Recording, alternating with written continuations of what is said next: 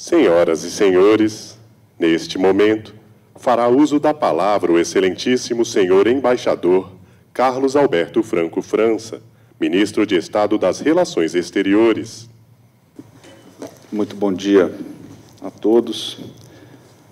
Eu queria começar agradecendo a presença aqui do meu sempre chefe, embaixador Rubens Antônio Barbosa, presidente do Instituto de Relações Internacionais e Comércio Exterior, Eurice, o embaixador Paulino Franco de Carvalho Neto, secretário de Assuntos Políticos Multilaterais, o embaixador Everton Vieira Vargas, a embaixadora Márcia Loureiro, que é presidente da Fundação Alexandre Guzmão, e, caro, e claro, a todos os colegas, as senhoras e senhores que se dispuseram nesse dia de jogo da Copa, a estreia do Brasil, está aqui nesse seminário.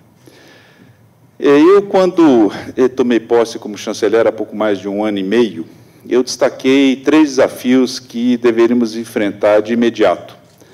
Uma urgência no campo da saúde, naquele momento a crise sanitária da Covid nos impunha, a urgência do crescimento econômico, era o desejo do presidente Jair Bolsonaro que nós somássemos esforços aqui no Itamaraty, o Ministério da Infraestrutura, o Ministério da Agricultura, o Ministério da Economia, e a urgência também do desenvolvimento sustentável, que eu chamei no meu discurso de posse de uma urgência em um tempo diferente, em tempo diferido, mas ainda assim uma urgência.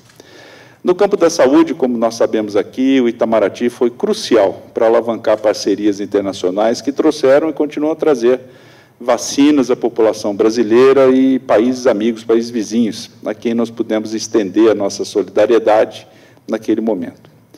Na área econômica, seguimos trabalhando pela abertura de mercados para os nossos produtos, por maior geração de empregos e prosperidade, e também pela maior inserção do Brasil nas cadeias globais de agregação de valor. Uma tendência que parece se verificar e se sustentar quando nós recebemos notícias de que a China volta a uma política muito severa de lockdown, com os reflexos que nós vamos sentir nas cadeias de valor, na logística do mundo todo, nas exportações para aquele grande país e também no que a China fornece para todo mundo. A recuperação acelerada do nosso comércio no contexto pós-pandêmico atesta o resultado desses esforços. Quanto ao desenvolvimento sustentável, eu creio que dificilmente poderíamos contar com um painel mais qualificado para fazer uma avaliação do caminho que temos trilhado.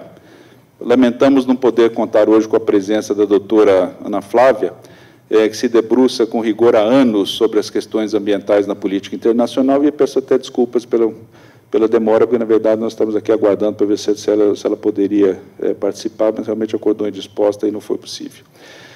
Além disso, a doutora Ana Flávia tem contribuído para a formação dos quadros do Serviço Exterior Brasileiro, tanto na Universidade de Brasília quanto no Instituto Rio Branco, né, embaixadora Glivânia? E, da mesma maneira, é um privilégio contar com a experiência do embaixador Everton Vieira Vargas, que dedicou tantos anos de sua carreira ao meio ambiente. Dizem até, aliás, eu não sei se é verdade ou se é lenda aqui no Itamaraty, que a sigla escolhida para designar o Departamento de Meio Ambiente e Temas Especiais em 2001, DME, era, na verdade, uma abreviação de departamento do ministro Everton. Mas eu acho que não é verdade, porque senão eu teria que depois ter mudado a sigla para DEE, né? Departamento do Embaixador Everton. E. E, por fim, é uma grande satisfação contar com a presença do embaixador Rubens Barbosa, sobre quem eu tive o privilégio de servir desde a Embaixada do Brasil em Washington como segundo secretário. O seu recente trabalho sobre o cumprimento dos compromissos internacionais do Brasil em matéria de meio ambiente, fruto de mais de dois anos eh, de esforços em parceria com a Universidade de São Paulo, é um verdadeiro oásis no deserto de informação que, infelizmente, tem cercado as questões ambientais na atualidade. Aliás, eu, até me permito aqui, eu acho que eu, eu, não sei se eu deveria falar, eu vou falar. Vou contar aqui, como dizem os espanhóis, uma anedota, ou como diria o recém-falecido Rolando Boldrin, meu conterrâneo de alma, um caos. Eu era chefe de gabinete do embaixador Rubens Barbosa, era segundo secretário na embaixada, isso devia ser o ano 99, dois, acho que 2000, 2001, e o embaixador foi chamado a Genebra para um evento que era organizado na Organização Mundial do Comércio, é, e para participar. E o retorno acontecia, às, me lembro bem, às 10 da manhã. E eu era um voo de 10 horas até o aeroporto de Dallas, em Washington. quando, pelo horário do embaixador, pela hora de Genebra, seria então é, 22 horas. 20, enfim, 20, 20 horas, perdão. E aí nós então, lá na embaixada, estávamos pensando, bom, o embaixador vai chegar aqui, eram seis horas de fuso, então ele vai chegar aqui às 14, acho que possivelmente ele não vai, ele talvez esteja errando o horário, porque eu me lembro que ele chegava às quatro da tarde. E aí nós fizemos a conta, falou, olha, o dia dele vai ter 30 horas, então seguramente ele vai para a residência. E eu falei, não, ele vem trabalhar na chancelaria, eu estou certo disso. E aí falaram, não, não é possível. Eu não sei se está aqui o Fernando Pimentel, o Fernando era daquela época aqui, mas eu me lembro que eu, ele, é, o Bernardo Veloso, nós decidimos fazer uma aposta. Eu falei, olha, vamos apostar um dinheiro aqui, ele vai vir trabalhar. Não pode, tem seis horas de fuso, está dez horas dentro do avião. Eu falei, não, ele vai chegar e vai vir trabalhar. E, e eu ganhei a aposta, porque o senhor chegou naquele dia, fomos para a chancelaria e trabalhamos até às 21 horas, eu me lembro direitinho. Então, você veja que essa é uma história interessante. Mas por que, que eu conto essa história? Porque ontem eu liguei para o embaixador Rubens Barbosa para oferecer uma carona num voo do Grupo de Transporte Especial da Força Aérea Brasileira, estava em São Paulo, fui a uma reunião lá na, na, na CAF, no Banco de Desenvolvimento da América Latina, e ofereci, então, falei, quem sabe o embaixador não quer vir conosco, né? É, sem o Grupo Transporte Especial, eu penso que essa administração aqui teria feito 90% menos das viagens que nós fizemos. E aí eu recebo a resposta de que o embaixador Rubens Barbosa eh, tinha um almoço de trabalho, tinha um jantar de trabalho, e que ele então hoje pegaria um voo às sete da manhã para estar nesse seminário aqui. E eu fiquei pensando, em onde é que ele arrumava tanta energia, onde é que ele consegue tanta energia para ter eh, essa disposição, essa determinação e esse compromisso com o Brasil que ele sempre teve. E aí me lembrei desse caos. E aí falei, bom, ele continua o mesmo. Então, dizer que assim, essa postura do senhor, para mim, sempre foi um exemplo. Era um exemplo, foi um exemplo e continua sendo um exemplo. Espero poder chegar com esse nível de energia que o senhor tem. Acho que não vou chegar porque já não tenho hoje, então que dirá no futuro. Bom, dizem que o Itamaraty não improvisa, e não improvisamos mesmo na, na escolha dessa data para juntar esses três pesos pesados da política internacional.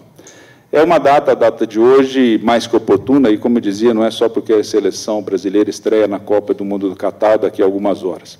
É oportuna porque estamos no meio do caminho entre as duas mais importantes reuniões de meio ambiente do ano. A COP27 do clima, que terminou semana passada no Egito, na qual tivemos aí um, uma grande participação, e sobre a qual talvez possamos ouvir testemunho em primeira mão do secretário de Assuntos Multilaterais Políticos, o embaixador Paulino Franco de Carvalho. E estamos a meio caminho entre a realização da COP15, da biodiversidade, que começa há duas semanas no Canadá.